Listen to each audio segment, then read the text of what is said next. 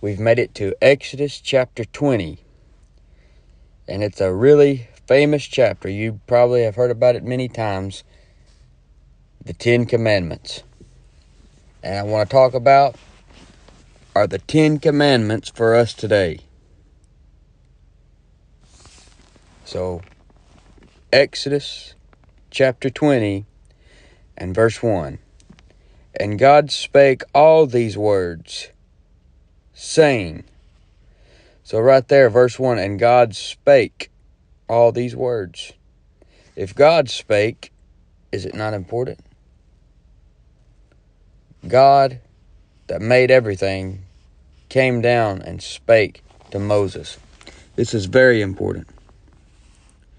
The first four commandments that he's going to give are commandments toward God. Then the last six commandments are towards man. And these commandments, if you go by these commandments, if everybody went by these commandments, you'd it would be heaven on earth. And that's the way it's going to be one day. Everybody's going to go by these commandments. It's going to be heaven on earth. It says, I am the Lord thy God, which have brought thee up out of the land of Egypt, out of the house of bondage. So the only one, the only God who could bring you out of the bondage of the world has wrote down some commandments that you need to keep. He brought Israel out of the bondage of Egypt. He brought you out of the bondage of the power of darkness. And he's got some commandments. And I mean, these aren't the only commandments, but the Ten Commandments really just sum up all the commandments in the Bible and roll them all into one like a summary. Now, look what he says in verse 3 Thou shalt have no other gods before me. Now, how is that wrong? You know, people want to put down the commandments, people want to put down the Bible, they want to put down God and everything else. They say that the Bible's too strict, the Bible's just overboard. All he's telling you to do is just stuff that's going to keep you from heartache and pain and uh, he don't want you to do anything that's going to cause you sorrow and trouble and everything like that. And if you have other gods before him, those other gods can't help you, so why would you want to go after them? Why would he want you to go after them? He doesn't want you to have any other gods before him, just as a good spouse won't allow you another husband or wife. If your husband is worth anything, he doesn't want you to go get another husband.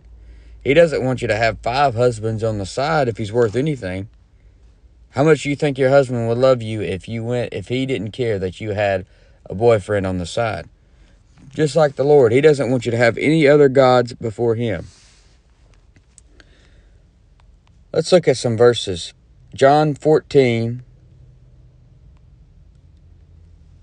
and verse 6. Jesus saith unto him, I am the way, the truth, and the life. No man cometh unto the Father but by me.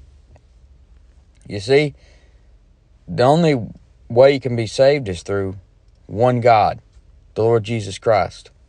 All the other gods can't save you in a time of trouble. You can call upon the gods all you want to, they're not going to save you. Just like the Baal worshippers, they called on Baal, he didn't come through. The only God that's going to come through is the Lord God of the Bible. And he said, Thou shalt have no other gods before me whatever you've made to be your little false God, you just need to go ahead and get rid of it. And Paul, the Apostle Paul, the apostle for us today, he is for these Ten Commandments and he goes by them himself, as you see in the New Testament. Look at Acts 14 15. In Acts 14 and verse 15, he says, and saying, Sirs, why do you these things? We also are men of like passions with you, and preach unto you that ye should turn from these vanities unto the living God, which made heaven and earth and the sea, and all things that are therein. So he's telling them, Turn from these vanities. Turn from these gods that you ignorantly worship and turn to the Lord God who made heaven and earth and the sea and all things that are therein. He said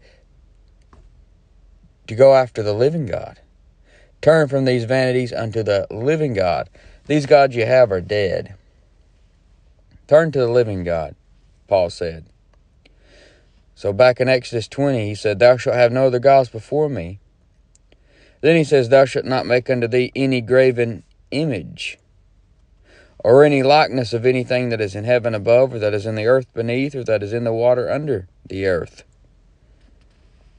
So don't make an image of this thing that you worship. But you see that today, people's got statues of things that they worship. When they really admire somebody, what do they do? They make a big statue of them. You know, they got statues of Kobe Bryant, LeBron James, Shaquille O'Neal, Michael Jordan, even some preachers. I think they got a statue of Jack Hyles. If you're a preacher, the last thing that you should want done is a statue to be made of you. You know, you'd think, you know, a Bible believing preacher, the last thing that he would want done is a statue to be made of him. Now, I don't know if that, I, I doubt he had anything to do with somebody making a statue of him, but that'd be that would be your last dying wish if you're a Bible believing preacher is for them to make a statue of you. You know, you don't want to make any graven image or likeness of anything that is in heaven above, or that is in the earth beneath, or that is in the water under the earth. People are really likely to worship that. Just like they ended up worship, worshiping the that brazen serpent that Moses had made. You know, when uh, they had to look at the serpent on the pole, they ended up worshiping that thing.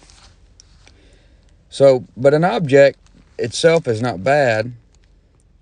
It's just bad if you worship it. Look at Isaiah 44 15 through 17. Isaiah 44 15. It says, Then shall it be for a man to burn, for he will take thereof and warm himself. Yea, he kindleth it, and baketh bread. Yea, he maketh a god. He maketh a god. Now, how does that make sense? He maketh a god and worshipeth it. He maketh it a graven image and falleth down there too. So he maketh a god and he makes it a graven image. But then look what he does. He falls down there too. An object is not bad. What's bad is when you worship it.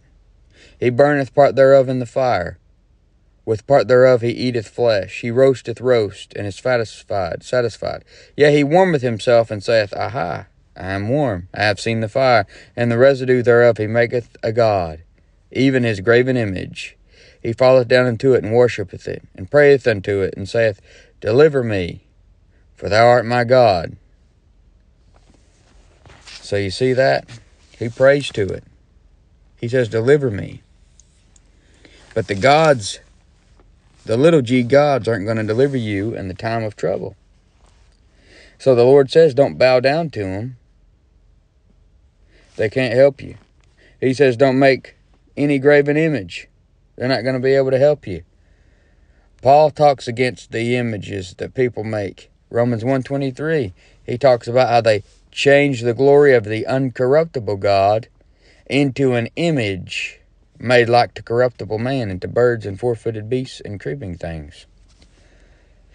You see, Paul backs up everything Moses said. Moses is against these. Moses uh, writes down how God is against having other gods, how God is against graven images. Paul comes back and talks about being against other gods and against graven images. Now he says in verse 5, Exodus 20 and verse 5, Thou shalt not bow down thyself to them, nor serve them.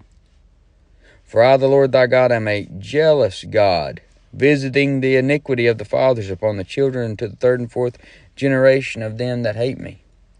So he says, Don't bow down yourself to them. nor serve them. He's jealous. God is a jealous God. And people got this twisted today. They think that jealousy is always a bad thing. No. Je- if uh, your husband or wife is jealous for you, that means they love you. It's it's uh it get it's only scary when you know you you as a woman can go to work and every guy in there flirting with you and you got guys calling you and you got guys commenting on all your pictures on Facebook and you got guys liking all your pictures and you got guys uh, sending you friend requests and your husband don't care that's when it's scary. That means he really ain't loving you like he should. Now if he loves you like he should and you got all these men chasing you and slobbering on you all the time he's mad about it and he's a jealous husband. That shows that he still cares. And you're still in good shape. It's when he no longer cares. That's when you're in rough shape. God is a jealous God. He doesn't want you going after these false gods. He doesn't want you committing spiritual adult- adultery with these false gods. God's because he loves you, he wants you for him. So he is a jealous God. And Paul, the Apostle Paul, our apostle for today, is going to back this right up. Ephesians 3 14. In Ephesians 3:14, look who Paul bows himself to. He says, "For this cause I bow my knees unto the Father of our Lord Jesus Christ." He's not bowing down to any false gods. He's bowing his knees to the God of the Bible. Then Philippians 2:10. Look at Philippians 2:10. Look who he he talks about you ought to bow your knees to. That at the name of Jesus every knee should bow of things in heaven and things in earth and things under the earth, and that every tongue should confess that Jesus Christ is Lord to the glory of God the Father. He wants you to bow to the Lord Jesus Christ. Every knee. Paul wants every knee to bow to the Lord Jesus Christ. All right, back to Exodus 20. God is a jealous God. Nahum 1 2. Nahum 1 2 says, God is jealous, and the Lord revengeth. The Lord revengeth and is furious. He's and he's come, he comes back fast, you know, faster than the speed of light. He's fast and furious. Way before Vin Diesel and Paul Walker and Jason Statham and all them guys. The Lord will take vengeance on his adversary. He's the ultimate avenger. And he reserveth wrath for his enemies. You see that? He's not somebody you want to make. He's not somebody you want to be messing with his wife, you see. He's going to get a hold of these false gods. So God is jealous. Uh, 2 Corinthians 11 2. In 2 Corinthians 11 2, Paul backs this up again about God being jealous. He just keeps backing the Lord up. In 2 Corinthians 11:2, he says, "For I am jealous over you with godly jealousy, for I have espoused you to one husband, that I may present you as a chaste virgin to Christ." See, but he, but he says, But I fear lest by any means, as the serpent beguiled Eve through his subtlety, so your mind should be corrupted from the simplicity that's in Christ. Paul gets jealous because the Lord isn't getting enough attention from the bride of Christ, the church. Just like Elijah was jealous for for the Lord God because people was worshiping Baal. Let's look at what Elijah said.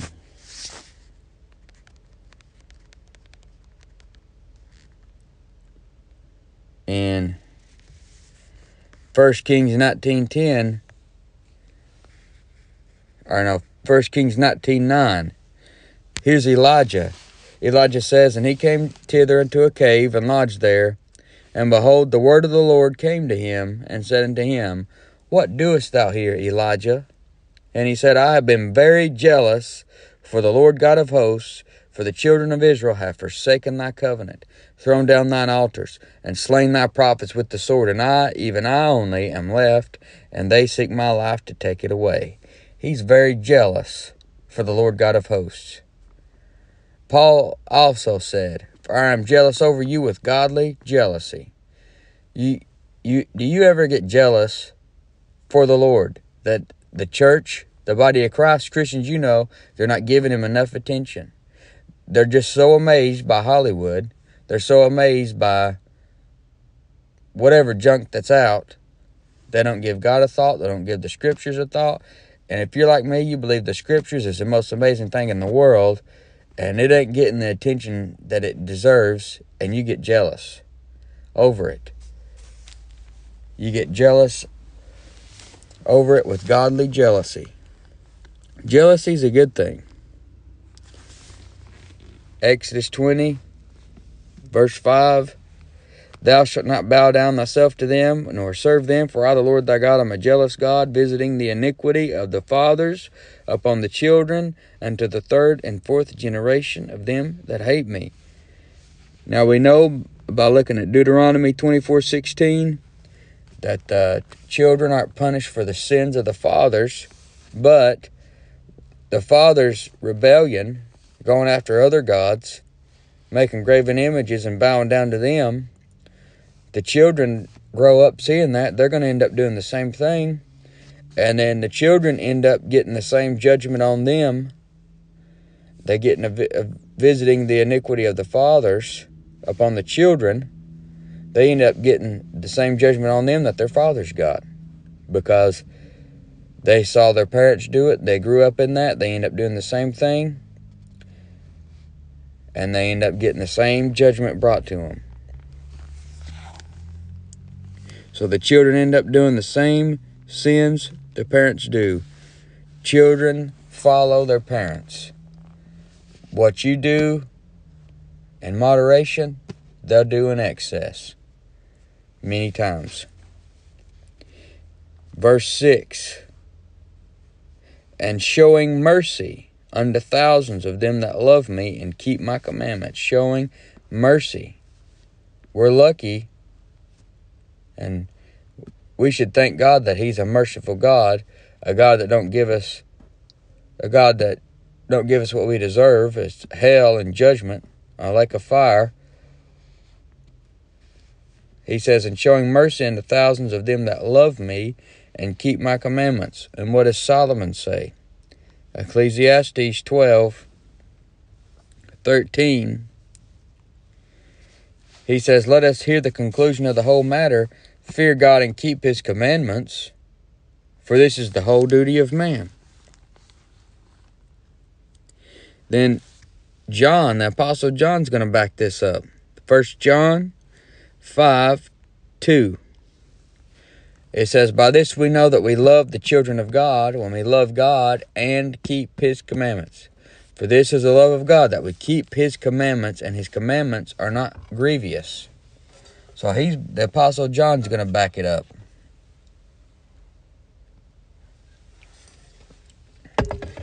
When you got Moses saying it, Paul saying it, the apostle John saying it, the Lord Himself saying it. It's pretty good stuff.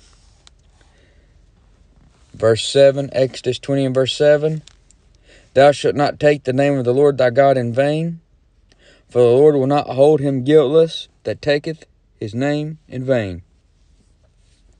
Let's look at some verses. Proverbs 30 and verse 9. Proverbs 30 and verse 9. It says, lest I be full and deny thee, and say, Who is the Lord? Or lest I be poor and steal, and take the name of my God in vain. Let's look at another one. Deuteronomy 5:11. Deuteronomy 5:11. Thou shalt not take the name of the Lord thy God in vain, for the Lord will not hold him guiltless that taketh his name in vain. Let's look at John 16 2.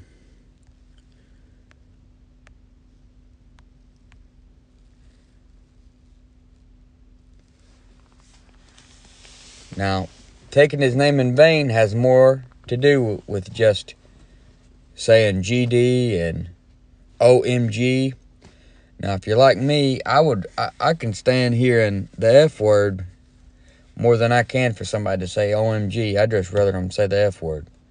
When somebody says OMG, it just it just makes me cringe. You know, when mostly when people are saying it, they're not even thinking about God when they say it. They're just saying it. That's just what that's just what everybody says, and it's become a common phrase is OMG. Everybody says it, and it just it it, uh, it makes you cringe sometimes. And GD that'll make you cringe, but taking the name of God in vain goes much further beyond that. For example, like in John 16 2, it says, They shall put you out of the synagogues. Yea, the time cometh that whosoever killeth you will think that he doeth God service. So he's going. You, you're going to have people going around. You got people going around that are killing people in the name of God. That's taking God's name in vain. Uh, you got preachers getting up using God's name to make money. They're using the name of the Lord Jesus Christ to make a whole bunch of money. They take God's name in vain when they do that.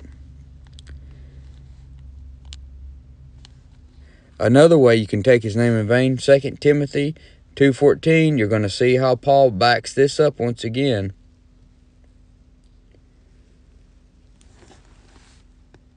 Actually, 2 Timothy 2.19. Paul says, Nevertheless, the foundation of God standeth sure, having this seal, The Lord knoweth them that are his, and let every one that nameth the name of Christ depart from iniquity.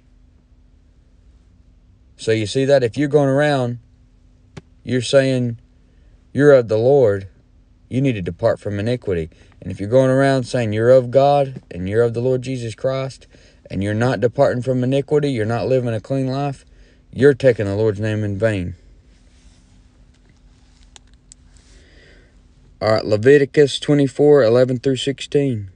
Leviticus 24 11 through 16. It says, And the Israelitish woman's son blasphemed the name of the Lord and cursed. So you're seeing there, kind of going back to, you know, maybe saying GD or something like that. And they brought him unto Moses, and his mother's name was Shelomith, the daughter of Dibri of the tribe of Dan, and they put him in ward, that the mind of the Lord might be showed them. And the Lord spake unto Moses, saying, Bring forth him that hath cursed without the camp, and let all that heard him lay their hands upon his head, and let all the congregation stone him. And thou shalt speak unto the children of Israel, saying, Whosoever curseth his God shall bear his sin. And he that blasphemeth the name of the Lord, he shall surely be put to death. And all the congregation shall certainly stone him, as well as the stranger, as he that is born in the land, when he blasphemeth the name of the Lord, shall be put to death. So you don't want to blaspheme the name of the Lord, and it goes beyond just saying his name as a cuss word. So Exodus 20 and verse 7, Thou shalt not take the name of the Lord thy God in vain, for the Lord will not hold him guiltless that taketh his name in vain. Now, Exodus 20 and verse 8. Remember the Sabbath day, or he's, yeah, remember the Sabbath day to keep it holy. Six days shalt thou labor and do all thy work, but the seventh day is the Sabbath of the Lord thy God. In it thou shalt do no Thou shalt not do any work, thou, nor thy son, nor thy daughter, nor thy manservant, nor thy maidservant, nor thy cattle, nor thy stranger that is within thy gates. For in six days the Lord made heaven and earth, the sea, and all that in them is, and rested the seventh day. Wherefore the Lord blessed the Sabbath day and hallowed it. So the Sabbath is a type of Jesus Christ. It shows you the Lord Jesus Christ, a day of rest for God's people for uh, our Sabbath is the Lord Jesus Christ today. Matthew 11 28. He says, Come unto me, all you that labor and are heavy laden, and I will give you rest. Jesus Christ is my Sabbath. All these commandments, we go by them, but when it comes to us keeping a Sabbath, Jesus Christ is our Sabbath. In Christ, you rest from your works. And your works, nor another person's works, None of those works can give you rest. You have to come to Jesus Christ and His work give you rest. He did all the work for you. You come to Him and you find rest in Him. So that's what this pictures when it says, Thou shalt not do any work. Thou, nor thy son, nor thy daughter, nor thy manservant, nor thy maidservant, nor thy cattle, nor any stranger that is within thy gates. Don't do any work. You can't do any work to get the rest. Nobody else can do the work to get you the rest or to get rest for themselves. You rest on the Sabbath. Jesus Christ, you come to Him, He's your Sabbath. He did all the work. In Him, you find rest. So the Sabbath is actually a sign for Israel. Look at Exodus 31:13. The actual Sabbath is a sign for Israel. They had to keep the Sabbath he said in Exodus 31:13, Speak thou also unto the children of Israel, saying, Verily my Sabbaths ye shall keep, for it is a sign between me and you throughout your generations, that ye may know that I am the Lord that doth sanctify you. But Paul's been backing up all these commandments, but look what he says about the Sabbath in Colossians 2 and verse 16. Colossians 2 16. He says, Let no man therefore judge you in meat, or in drink, or in respect of an holy day, or of the new moon, or of the Sabbath days, which are a shadow of things to come, but the body is of Christ. He said, Don't let nobody judge you in it. It's it's not about you. There it's a shadow of things to come. The Sabbath's gonna come back when God starts dealing with Israel again after the church age. But right now, it's about the body of Christ, and we don't have nothing to do with the Sabbath. Now look what else Paul says.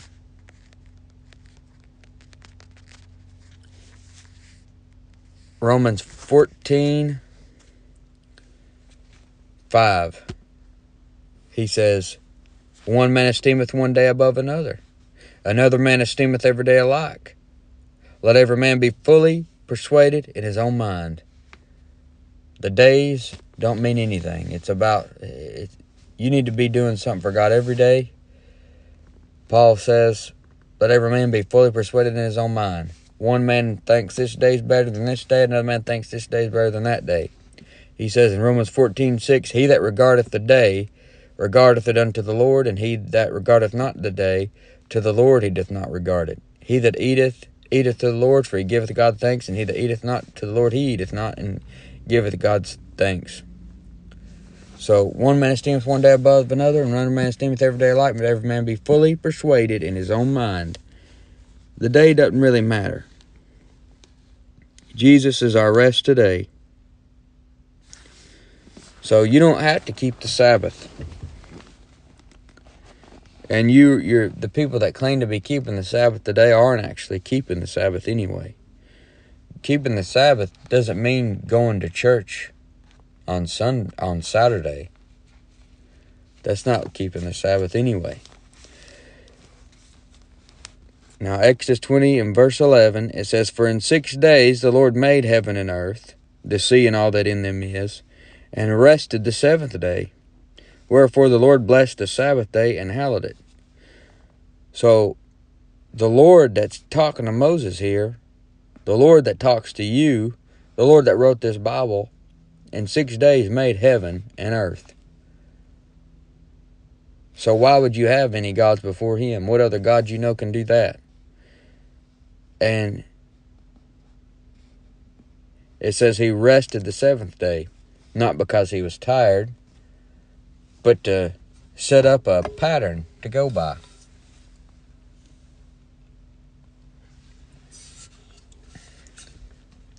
he did things you know he didn't do he didn't do it in six days because that's how long it would have to take him he could have just snapped his fingers and it be there, or just thought it and everything be there. He was showing you a pattern. He worked six days, and then they were to be at rest on that seventh day. He he set up a pattern. And it's a pretty good pattern to follow. You need to rest at least one day. So he says in verse 12, Exodus 20 and verse 12 Honor thy father and thy mother, that thy days may be long upon the land which the Lord thy God giveth thee. Now, Paul's going to back this one up big time. Ephesians 6 1. Ephesians 6 and verse 1. He says, Children, obey your parents in the Lord, for this is right. Ephesians 6 2. Honor thy father and mother, which is the first commandment, with promise. See, you see, now he's the commandments are getting into how you are treating other people.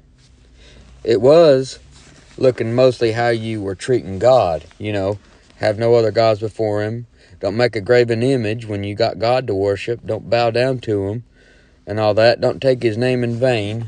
Remember the Sabbath and keep it holy. You see, those were commandments toward God. Now it's getting into commandments about how to treat others, how you ought to treat man. So he's he says, Children, obey your parents in the Lord, for this is right. God gives you parents to guide you because you don't have no sense. Foolishness is bound in the heart of a child. It will be wise of you to go by what your parents say. Colossians 3:20 Children obey your parents in all things for this is well pleasing unto the Lord. So you see that Paul just really nails that home. Look at Deuteronomy 21, 18 through 21. Deuteronomy 21, 18. It says, if, if a man have a stubborn and rebellious son, which will not obey the voice of his father or the voice of his mother, and that when they have chastened him will not hearken unto them, then shall his father and his mother lay hold on him, and bring him out unto the elders of his city, and unto the gate of his place, and they shall say unto the elders of his city, Thou this our son is stubborn and rebellious. He will not obey our voice. He is a glutton and a drunkard and all the men of his city shall stone him with stones that he die.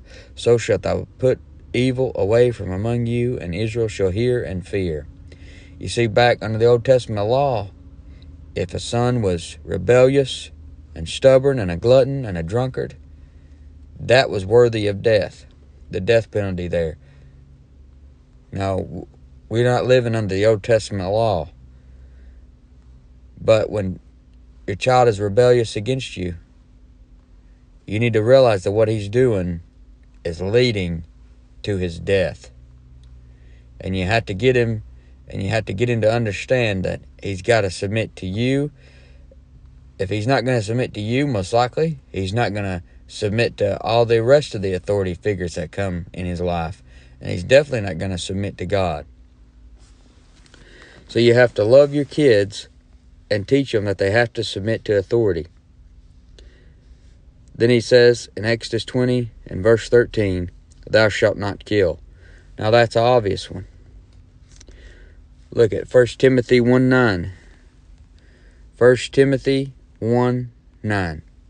Knowing this, that the law is not made for a righteous man, but for the lawless and disobedient, for the ungodly and for sinners, for unholy and profane, for murderers of fathers and murderers of mothers, for manslayers so Paul's backing it up again. The law is not made for a righteous man, but for the lawless and disobedient. All right, Paul's going to back it up again. Romans 13 9. Look at this. For this, thou shalt not commit adultery. Thou shalt not kill. Thou shalt not steal. Thou shalt not bear false witness. Thou shalt not covet. And if there be any other commandment, it is briefly comprehended in this saying, namely, Thou shalt love thy neighbor as thyself. Love worketh no ill to his neighbor. Therefore, love is the fulfilling of the law. Paul's backing up all them ten, all the commandments there. He's basically saying, if you love your neighbor, you're going to keep the commandments. If you love your neighbor, you're not going to kill him. Now, people think the Bible is just so hard and strict. These is these are awesome commandments laid out. Honor thy father and mother. You want your kid rebelling against you? He says, Thou shalt not kill. Do you want somebody coming up in your house and killing you? These are good commandments. God just wants you to treat people right. 1 John 3:15. John's going to back it up. He says, Whosoever hateth his brother is a murderer, and ye know that no murderer hath eternal life abiding in him. So you see, uh, these things, it, it goes beyond just the action, it's the thought process as well. You don't want to hate your brother. If you hate your brother, it's like you're a murderer already in your heart. You got to hate somebody in your heart before you murder them. Back to Exodus 20, verse 14 Thou shalt not commit adultery. Paul backed that up in that same verse, Romans 13 9, where he said, For this thou shalt not commit adultery. And then he said, Thou shalt love thy neighbors thyself. If you love your spouse, you're not going to commit adultery on them. If you love your friend and his wife, you're not going to take his wife from him and commit adultery with her. Galatians 5:19 adultery Paul says it's a work of the flesh. And then in Leviticus 20 and verse 10 Leviticus 20:10 and the man that committeth adultery with another man's wife, even he that committeth adultery with his neighbor's wife, the adulterer and the adulteress shall surely be put to death. It's a very serious thing. The commit, though, do not commit adultery. He says in Exodus 20:15, "Thou shalt not steal." What does Paul st- say in Ephesians 4:28? He's going to back it up. Ephesians 4:28, "Let him that stole steal no more, but rather let him labor, working with the his hands the thing which is good, that he may have to give to him that needeth. Let him that stole steal no more, but rather let him labor. Get up, go to work, earn your own things, quit stealing everybody else's stuff. Paul also backed it up in that same verse, Romans 13 9. Thou shalt not steal. If you love your neighbor, you're not going to steal from him. Thou shalt not bear false witness against thy neighbor. He backs that up in Romans 13 9. Thou shalt not steal. You love your neighbor, you're not going to steal from him. Colossians 3 9. He says, Lie not one to another, seeing that ye have put off the old man with his deeds. So he backs it up again right there. And Exodus 20 and verse 17 Thou shalt not covet thy neighbor's house. If you're coveting your neighbor's house, you're wanting his house. Thou shalt not covet thy neighbor's wife. If you would uh, learn to appreciate and love your wife more, you ain't going to covet your neighbor's wife as much. Nor his manservant, nor his maidservant, nor his ox, nor his ass, nor anything that is thy neighbor's. It says, nor anything that is thy neighbor's. That takes care of everything else. You know, if you're if you're coveting, then you're just really desiring and wanting people's stuff, other people's things, the people in their life. And that shows that you're not content with what you've got. Colossians 3 5. What does Paul say? He says, Mortify therefore your members which are upon the earth, fornication, uncleanness, inordinate affection, evil concupiscence, and covetousness, which is idolatry. Admiring things so much that you're just wanting to have them so bad. That's idolatry. Paul says in Hebrews 13 5, Hebrews 13 and verse 5, let your conversation be without covetousness, and be content with such things as ye have. For he has said, I will never leave thee nor forsake thee. If you're content with what you have, you're not going to covet everybody's stuff. So, Exodus 20, verse 18. And all the people saw the thunderings and the lightnings and the noise of the trumpet and the mountain smoking. And when the people saw it, they removed and stood afar off. This is like a picture of what the white throne judgment will be like. God got the book open, got commandments in it, and the people hearing thunder and lightnings and seeing smoke, and you're being judged by those commandments at the great white throne, the lost of all ages. And they said unto Moses, Speak thou with us, and we will hear, but let not God speak with us, lest we die. So they know they're not worthy. They're they're feeling they feel guilty in the presence of God. They want Moses to be their mediator between them and God. Once again, Moses picturing Jesus Christ, our mediator. And Moses said unto the people, Fear not, for God is come to prove you, and that his fear may be before your faces, that you sin not. So you see, God will use fear to keep you from sin. Just like parents will many times try to put fear in their kids to keep them from sinning. Now, He doesn't give you the spirit of fear, but of power and love and of a sound mind.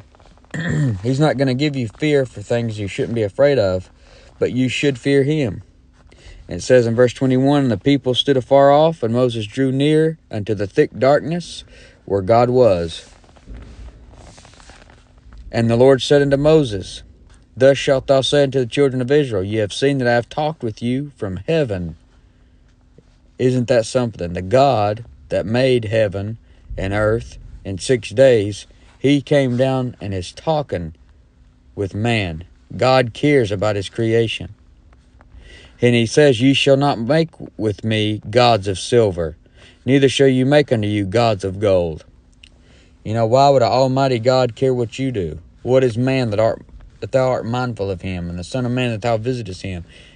He does care. He doesn't want you having gods before him. He knows the gods of silver can't help, and the gods of gold can't help.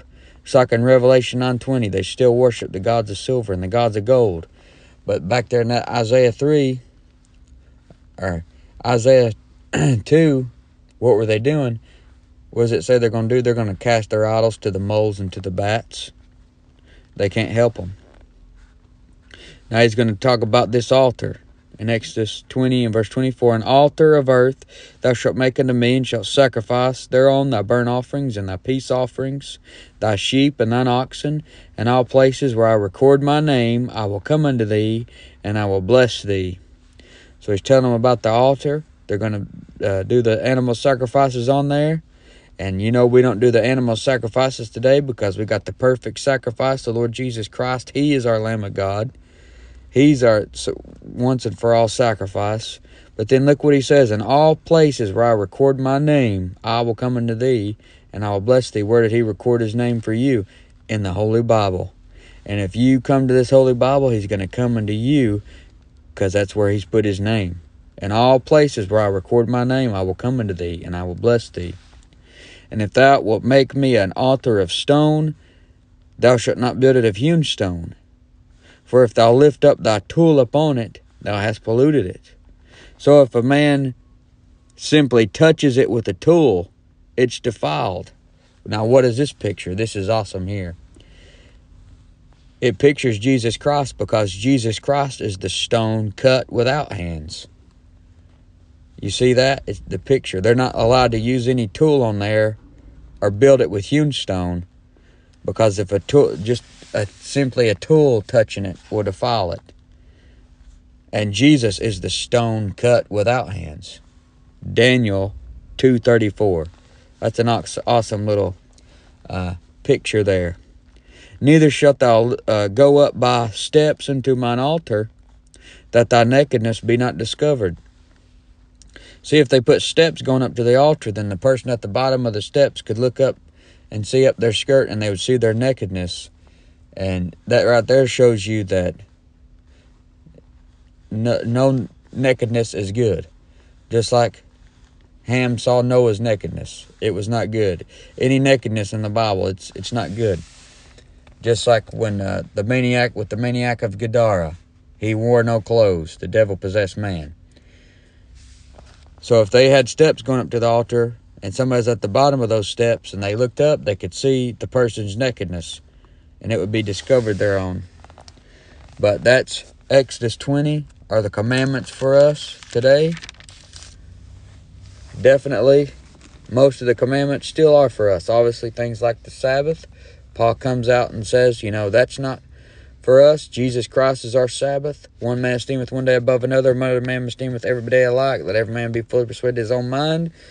But you got these commandments like thou shalt not kill, thou shalt not steal, thou shalt not commit adultery, thou shalt not bear false witness. Obviously, Paul comes back and says, reinstates it. That is for us. So yeah.